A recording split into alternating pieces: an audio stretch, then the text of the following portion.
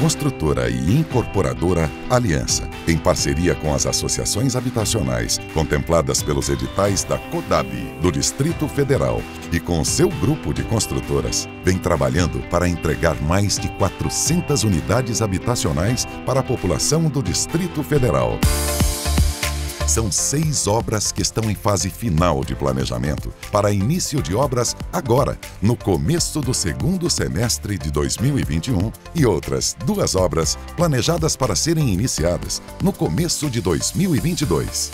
Nossos projetos técnicos e execução das obras são construídos com parceiros com sólida experiência e reconhecimento no mercado tudo isso para oferecer segurança, conforto e qualidade de vida em áreas bem localizadas que têm valorizado cada vez mais.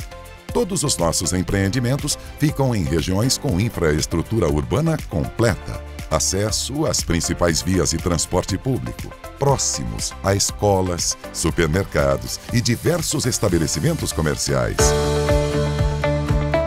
Conheça um pouco sobre nossas obras na cidade de Samambaia, que serão iniciadas agora, em 2021. Quadra QS 402, Residencial Prado e Basílio, Quadra QR 503, Residencial Porto Vitória, Quadra QR 311, Residencial Jacira.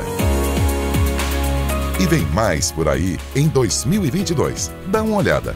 Quadra QS 602, Residencial JRV Matos.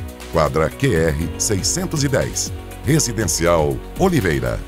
Na cidade de Riacho Fundo 2, próximo ao viaduto do Periquito, na quadra QS 31, estamos na fase final de preparação para iniciar as obras dos seguintes empreendimentos: Residencial Dora Lopes Fernandes, Residencial Letícia, Residencial Maria Salete. E não paramos por aí. Nossa atuação vai além do Distrito Federal. Temos empreendimentos residenciais sendo iniciados no Rio Grande do Norte e no Rio Grande do Sul. Residencial Campo Belo, no município de São Gonçalo do Amarante, vizinho à capital, Natal. Residencial Sinos, no município de São Leopoldo, ao lado da capital, Porto Alegre. Também estamos construindo casas lindas em diversos municípios em Alagoas, Pernambuco e Bahia.